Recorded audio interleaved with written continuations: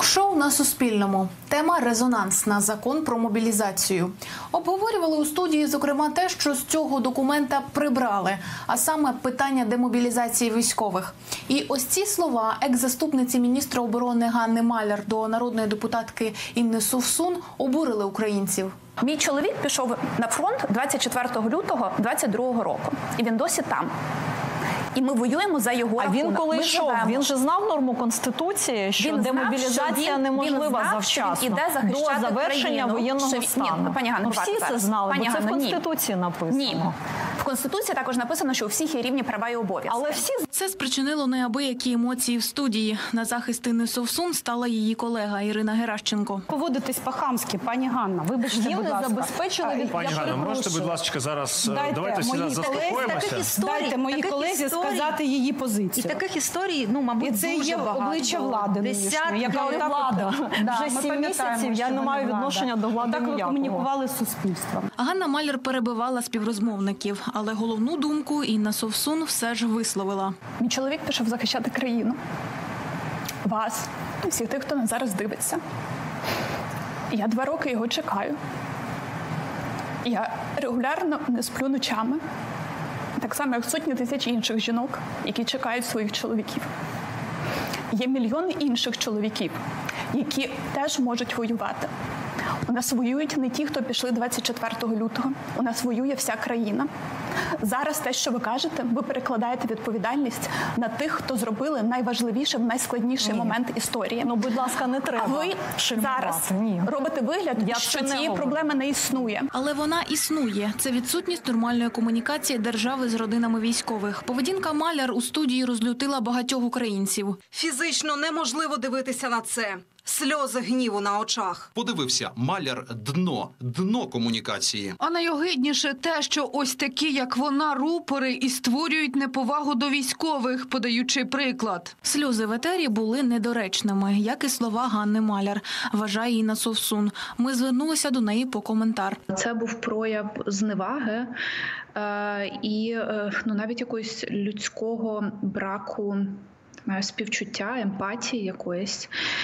Можна по-різному ставитись до питання демобілізації, але не можна закидати людям, які пішли боронити країну в перший день повномасштабного вторгнення, що вони самі зробили цей вибір, і вони самі винні, що зараз вони там на фронті. Слова Ганни Маляр обурили також і Яну, дружину військового, який став на захист країни в перші дні повномасштабного вторгнення. Моя особиста реакція була те, що мене в особі Інни, яка говорила про від імені дружин військових, зневажають, що я ніхто, я не людина, я другий сорт. Це цивільні.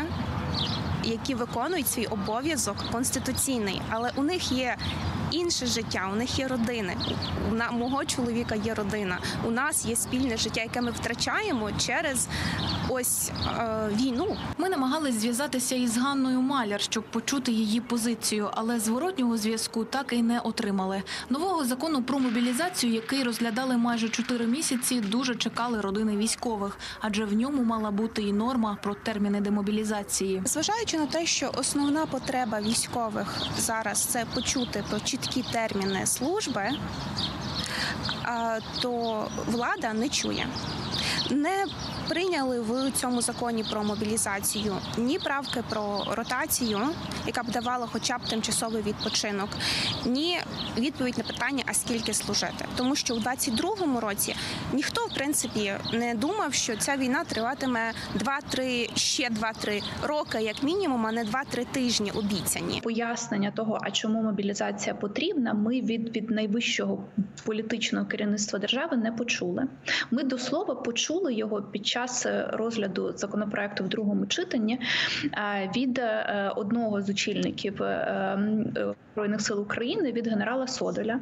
Він вийшов і дуже правильні речі сказав.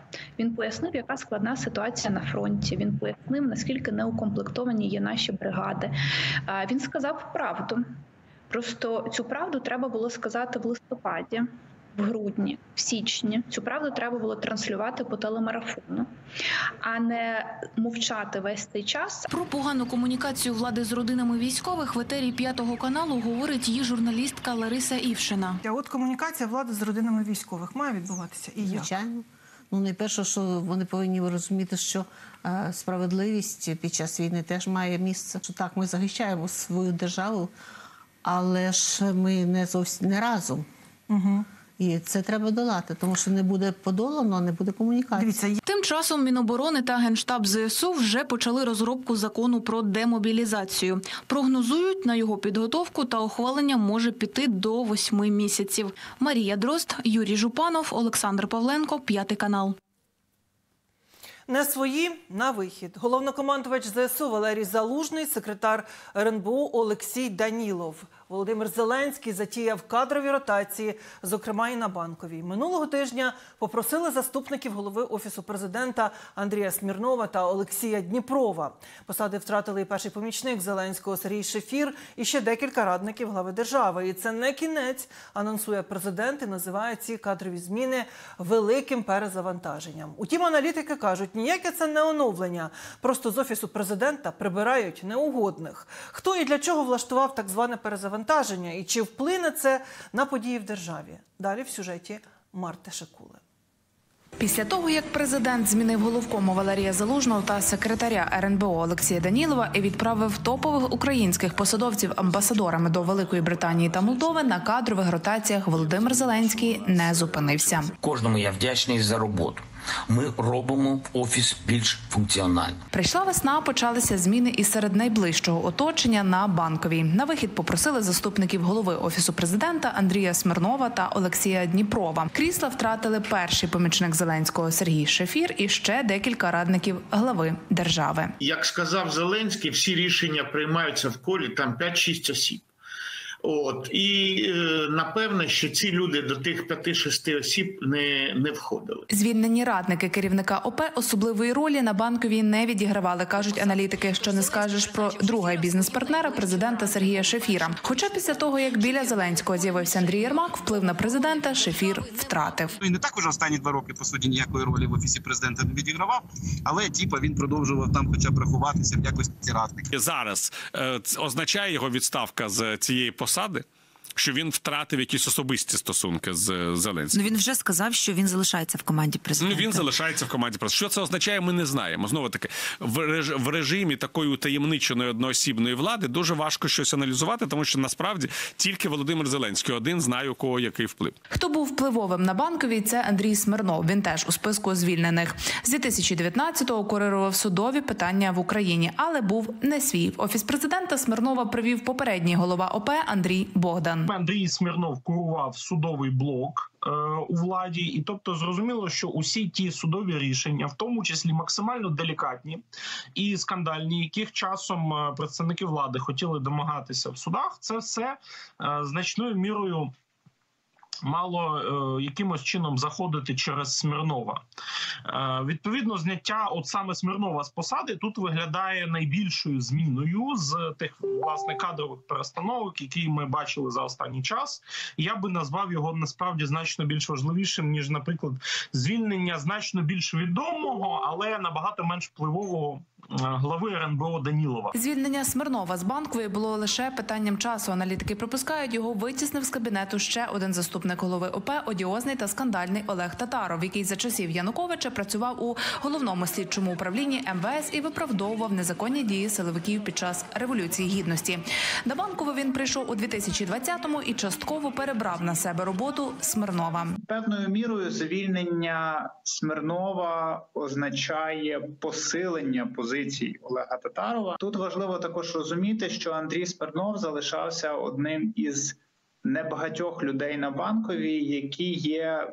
Ну, скажімо так, не єрмаківськими, так тобто не є креатурами Андрія Єрмака, не є не є людиною, яку привів туди Андрій Єрмак.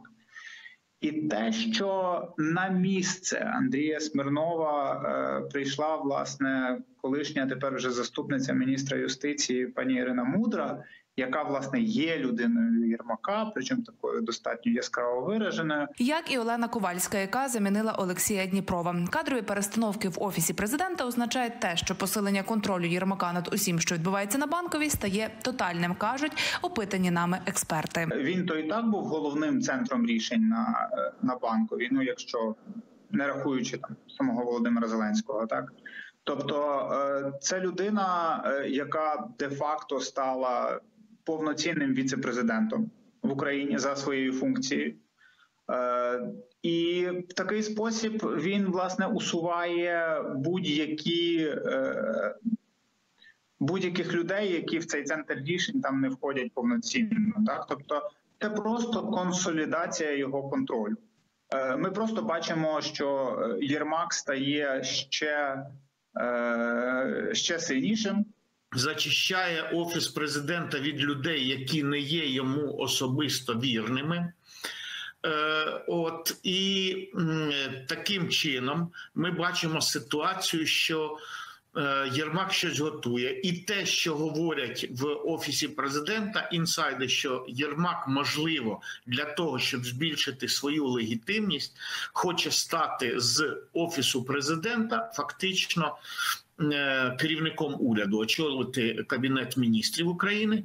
От і Е, тому, з, якщо виходити з, е, з такої позиції, то він все робить правильно для того, щоб не залишити в офісі президента сильних фігур, які могли би підмінити його і зайняти його нішу. І це ще не кінець. Президент анонсував подальші зміни, які гучно називає перезавантаженням. Ротації планують і в Кабміні, але їх провернути не так просто. За зміни міністрів має проголосувати Верховна Рада, яка нині переживає парламентську кризу. Треба зрозуміти, що зараз Україна вона дещо виглядає недемократичною державою. От. Ролі інституцій типових для демократичної держави нівельовані. Ну і це от часто можливо допустимо для е, ситуації війни, але це допустимо в міру. І коли е, Україна починає нагадувати е, той же свого ворога е, північно за північно-східного, е, коли там борюкаються між собою башти Кремля, Кремля, ну вони про, про вже майже пройшли цей етап. Там вже є цар батюшка. Ми до цього етапу, сподіваюсь, не дійдемо. Маємо усвідомлювати просту річ з 2019 року. Влада формально е, е, формально парламентсько-президентській республіці зосереджена в руках однієї людини. Це режим одноосібної влади, тому що і парламент, і як і уряд, вони фактично з 2019 року як е, інституції деградують. На зміни можна сподіватися тільки після президентських та парламентських виборів, які до кінця воєнного стану найімовірніше не стануться. Марта Шакула, п'ятий канал.